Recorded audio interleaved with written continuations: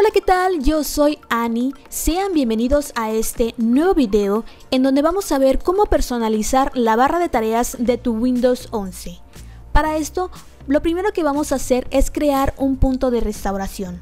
Vamos a ir a nuestro buscador y vamos a escribir punto y aquí ya nos va a dar esta primera opción de crear un punto de restauración. En dado caso de que no esté activada la opción de crear, vamos a ir a la opción de configurar y vamos a activar esta primera casilla. Posteriormente aplicar, aceptar y ahora sí vamos a tener ya activa la opción de crear. Le damos un clic y aquí vamos a poner el nombre que ustedes deseen para que les ayude a identificar el punto de restauración que están creando. Le damos en crear y vamos a esperar hasta que haga todo el proceso. Una vez que ya finalice le damos en cerrar aceptar y ahora sí, ya vamos a comenzar con la personalización de la barra de tareas de Windows 11.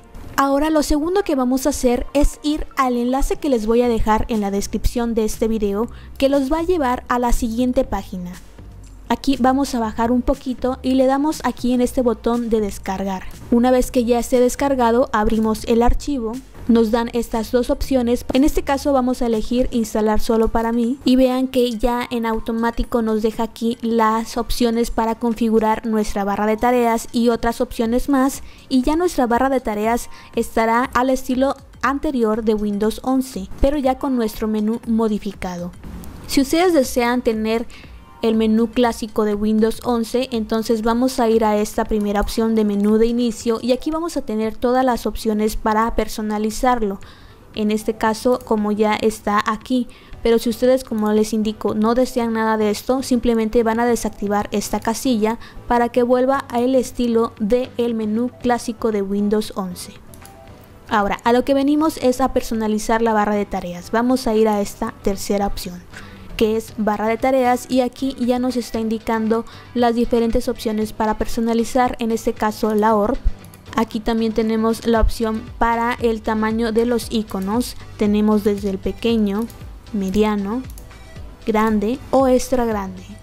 De igual forma el margen de los iconos muy pequeño, pequeño, mediano, grande y extra grande. También tenemos estas otras opciones en esta parte inferior que es para ubicar nuestra barra de tareas. Vean que está actualmente en la parte inferior, derecha, superior e izquierda. Tenemos también para combinar los botones de la barra de tareas que estos estén siempre, ocultar etiquetas, así como cuando la barra de tareas esté llena o nunca. También tenemos estas opciones para centrar los iconos para tener el estilo de la barra de tareas de Windows 11. Vean, aquí está nuestro menú.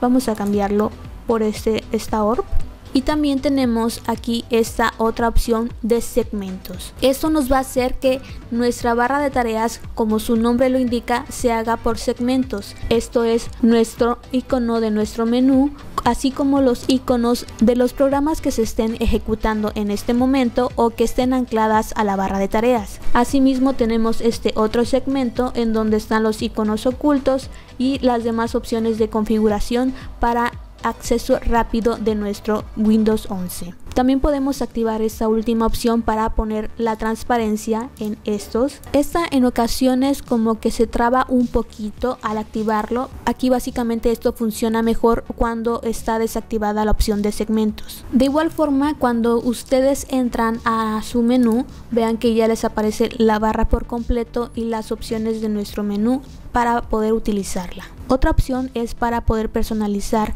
nuestro botón de inicio que es por separado, en este caso quedaría en algún lateral como en las versiones anteriores de Windows y nuestros iconos ya en la parte central o podemos volverlo a poner junto con el botón. Otra de las cosas es en segmentos. Aquí ustedes pueden elegir si desean que se muestre únicamente este segmento o, o, los dos segmentos. Podemos elegir solo el segmento central y volviendo cuando nosotros demos un clic sobre nuestro botón de inicio. Una vez que ustedes cierran el programa pueden volverlo a abrir dando clic derecho sobre el botón de Windows propiedades.